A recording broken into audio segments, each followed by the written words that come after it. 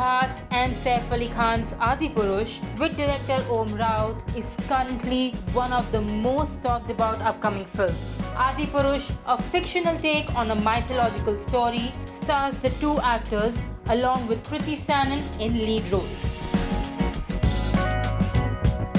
Given the spike in coronavirus cases, several films have faced shooting delays leading to unwanted production costs. Adipurush has also been facing the same issue.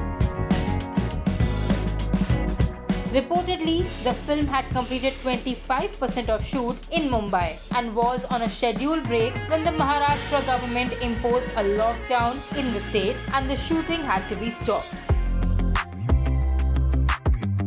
According to an exclusive report in E Times, Prabhas was reluctant to shoot in Mumbai from the beginning, but director Om Raut was determined to create the sets in Mumbai's film city.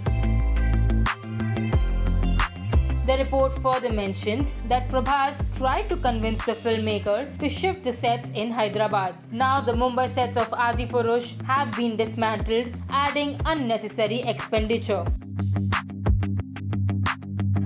The report states that Om's earlier experience of shooting Tanhaji in Mumbai was also one of the reasons why the director was comfortable in working for Adipurush in the city. Also, since most of the actors and crew members were from Mumbai, shifting to Hyderabad also did not seem reasonable at that time. Only Prabhas had to make the trip from Hyderabad for the shooting. It is also learned that the film is expected to resume the shoot from May 15th and the actors will be flying down to Hyderabad in the coming few days.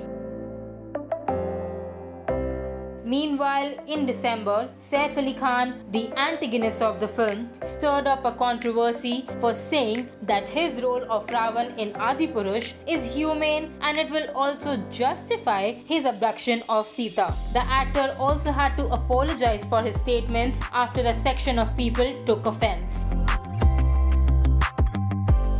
Adipurush is going to be one of the most expensive Indian films ever made. Slated for a grand release on August 11, 2022, the Prabhas starrer is being shot in Telugu and Hindi simultaneously and will be dubbed in other languages.